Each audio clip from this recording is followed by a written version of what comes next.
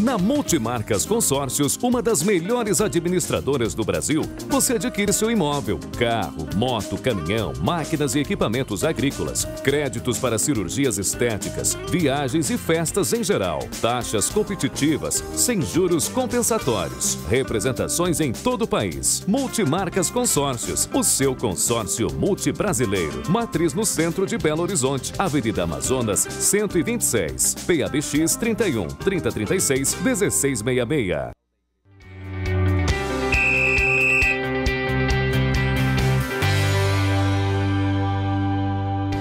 Vocês perceberam que tinha uma cadeira vazia, mas foi deixado de propósito.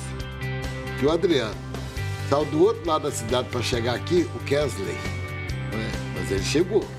E você não vem com desculpa, não, que o trânsito está muito tranquilo. Boa, boa noite, amigão. Tudo bem? Tudo bem. Senhor Ramon, Senhor nossos Jesus companheiros Cristo da mesa. Renascimento Boa noite aos telespectadores da TV Horizonte. Chegamos Ótimo. desse, e vamos- e o assunto final. aqui já é o clássico, é a arbitragem que mudou. Agora, eu, eu quero entrar num outro assunto aqui, porque eu acho que o Rogério Senna será o treinador do Atlético, opinião minha.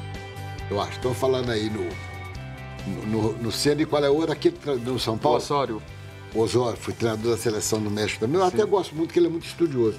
Mas esse tipo de, de- de treinador no Brasil é impressionante, não- eles não seguem a filosofia deles. Mas eu vou dizer uma coisa aqui, o Rogério Senna é o treinador do Atlético. Vocês aguardem passar o- o- a decisão sábado. Pode ser que seja anunciada até sábado mesmo, porque de qualquer maneira o Atlético vai anunciar treinador. Eu não sei se seria, eu vou ouvir a opinião dos meus companheiros, uma boa num momento para o Rogério Senna vir para o Atlético. Ele, tá muito, ele é rei hoje em Fortaleza. Ele é rei em Fortaleza. Ele manda, manda naquele estado, não é na cidade, não. Ele manda no estado. É, é, se não der, se ele vindo, não derem reforços para ele, ele vai se queimar quase, quase que o queimaram lá no São Paulo. Que para mim, ele sair do sul do país, onde viveu a vida toda dele, dentro do São Paulo Futebol Clube, e ir para o Nordeste, eu não imaginava. Ele teve essa humildade, um belo um trabalho, um grande treinador. Opinião sua, Vanderlei Menezes. É, foi um trampolim, né? Ele foi para lá, fez um bom trabalho, conseguiu é, subir com Fortaleza e agora, ama- é, domingo, decide o campeonato é, estadual lá. Se ganhar, realmente sai por cima. Não, ele já está por cima. Não, mas tem que ganhar Ter porque... colocado a primeira divisão, Vanderlei, foi. É, mas se ele, acho que se ele ganhar e, e- e ele vindo para o Atlético, é o trampolim que ele precisa. Porque o sonho dele, todo mundo sabe o que, que é. O sonho dele é treinar o São Paulo. Isso aí não tenha dúvida. E realmente, se ele conseguir essa vitória lá e vier para o Atlético, ele sabe que o Atlético é o trampolim para a primeira divisão que ele precisa. Agora, realmente precisa contratar, né? Ah, se não contratava, né? Lá não, não tem treinador, que não existe milagre, não.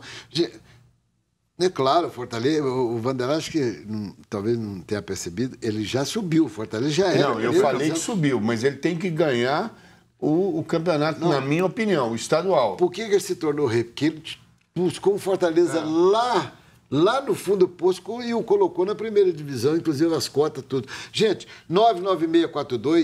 99642-8473, esse é o nú- número para você ligar, para participar. É, não precisa dar placar de jogo, não precisa de nada.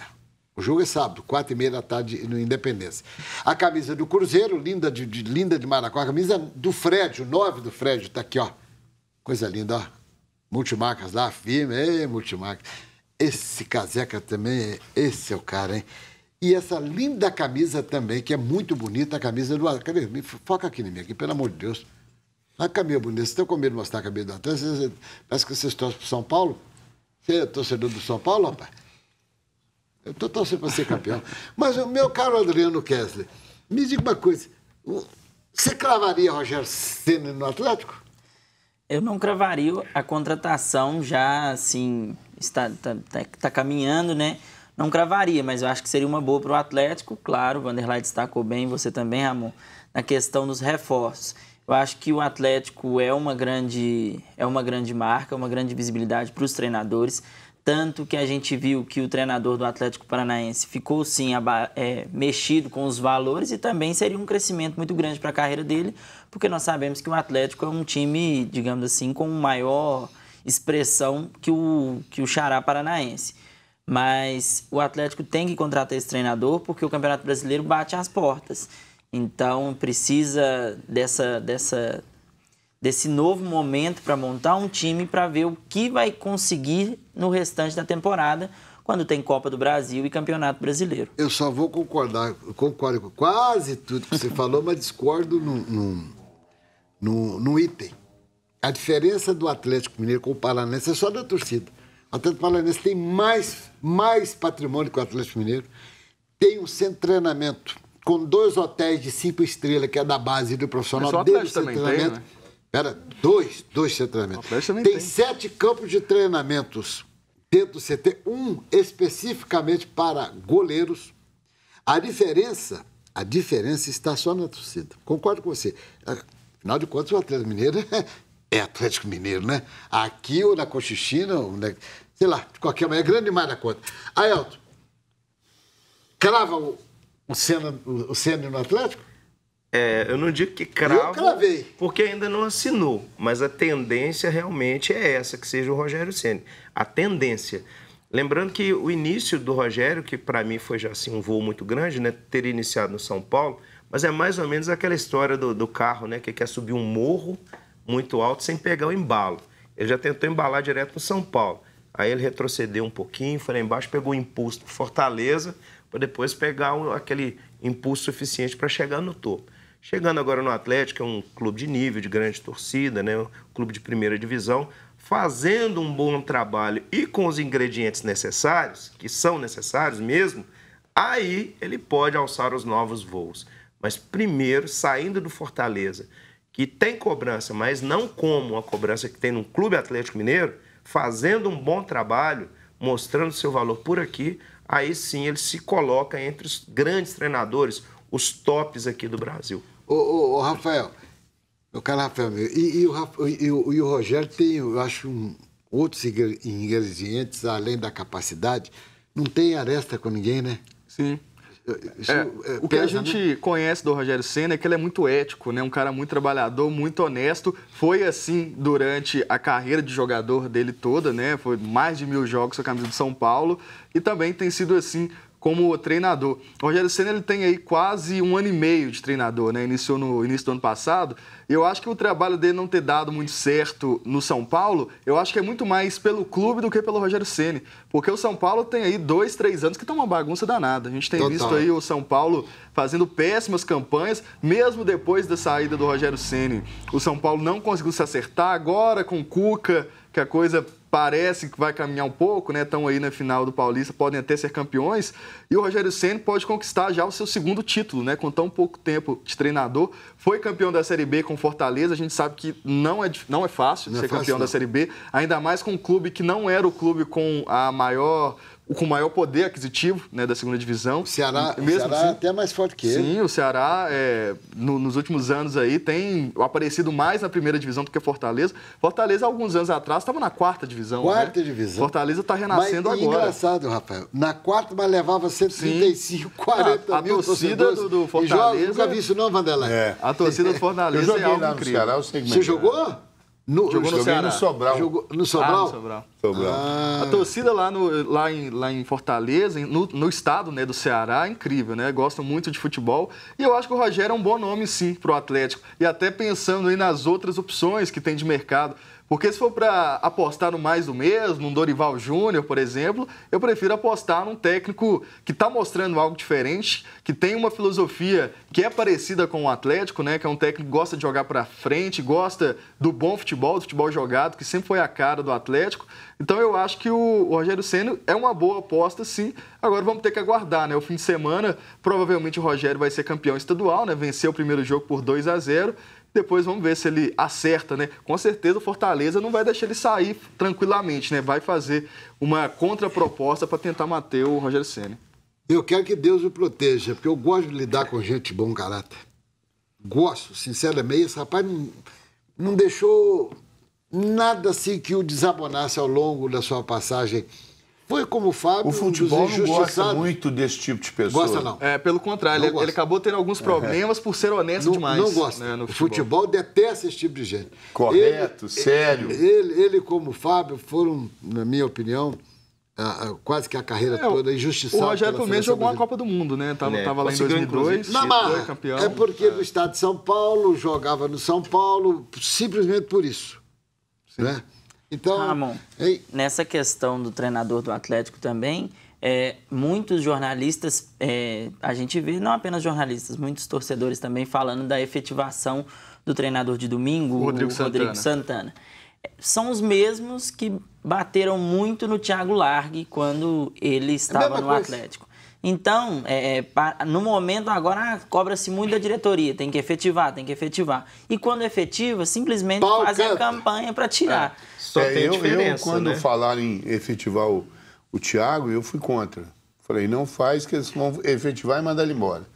Ele foi um, dos jogadores, um dos treinadores que mais obteve resultados positivos no Atlético. É, inclusive ele saiu Verdade. com E o time time fraco. É, com um time fraco, ele Verdade. conseguiu montar. Então, é, precisa fazer um- uma, uma avaliação muito séria sobre isso, porque é, a maioria dos treinadores não consegue trabalhar. né? E às vezes, deixando um treinador trabalhar, ele consegue fazer um bom resultado. Então, Mas E tem uma detalhe, diferença. Viu, o Vanderlei, ele, ele segurou muito a marimba, que ele acabou ficando oito meses. Foi. E o, o elenco é fraco, o. Exatamente, mas tem uma diferença básica aí entre o Rodrigo Santana né, que, que, e o Thiago Largue. Porque o Thiago Largue ele era auxiliar técnico. O Rodrigo Santana já foi treinador, ele já comandou outras equipes. Então tem essa pequena diferença. E no interior de Minas aqui, ele fez sim boas campanhas com o RT, a gente se lembra Foi muito campeão no bem interior disso. com o RT. Mas a gente sabe que duas, três derrotas consecutivas é motivo suficiente para a torcida pegar no pé, querer a cabeça do treinador. Até nós mesmo do meio da imprensa pedimos a cabeça dele.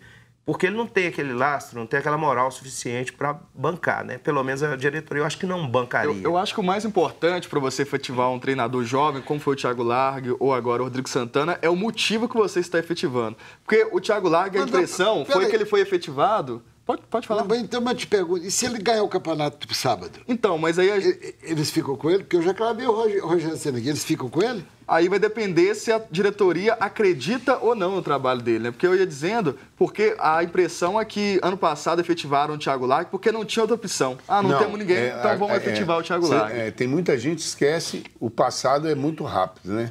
Não, porque o Atlético não conseguiu, depois que ele mandou o, Mandou o Oswaldo Oliveira embora. o- criou uma, uma, Um movimento. um movimento a favor do, do, do Thiago? Porque Mas ele o Atlético conhecia tentou- o Atlético elenco e Ninguém, e ninguém quis aceitar Então, a o proposta do Atlético Atlético. tentou Essa vários- foi a verdade. É, Atlético os tentou treinadores vários não é, queriam Tentou Atlético. vários Sim. treinadores e simplesmente ninguém Então, queria vir o, treinar. o né? motivo da, da efetivação foi não conseguimos ninguém, vamos manter o Thiago Largue. Se não E tem aí, tu, vai tu Isso mesmo. não sustenta o trabalho. É. Na hora que a pressão chega, e aí o Levi foi mandado embora no Japão, E que é um perdeu. cara que já tinha história no Atlético, acabou sendo E contratado. também ele perdeu jogadores, né? Importantes. Não, o elenco foi reconstruído. Não, se você pegar, pegar os números dele e com, com o Levi, ele, ele tá na Ele frente tá- do Levi. ele tá Tá ele frente. tem mais de Agora, 50%. eu espero que agora vai falar um cruzeirense aqui no programa, porque eu não sei o Mas é cruzeirense mesmo? De verdade? Ah, quero ver agora. Se esse produtor me jogar no buraco, eu esguelo ele. Coloca o torcedor do Cruzeiro para falar e, por favor, Alexandre, manda. Alô, Ramon Salgado. Aqui é o William Chagas do Padre Eustáquio. Quero participar do sorteio da camisa do Dom Fredon, o rei do histórico. Falou? O programa está excelente. Esse, é- muito obrigado. Que- Que é o, o. Como é o nome? Do Padre Eustáquio. Sim, o nome do rapaz, para estar com o pai, eu quero saber o nome dele. É, não, deu branco aqui. Sabe aí, você me, me reforça com o nome. Primeiro, eu quero agradecer. Quer ganhar a camisa do Fred. Esse é cruzeirense mesmo. Chamaram Cruzeiro, põe Cruzeiro. Não me, não me joga na, na- no mato, não, velho. Vamos pro intervalo e já vou voltar para falar mais desse clássico, da arbitragem que mudou. Eu não sei. Bom, vamos intervalo, já voltamos. Vai.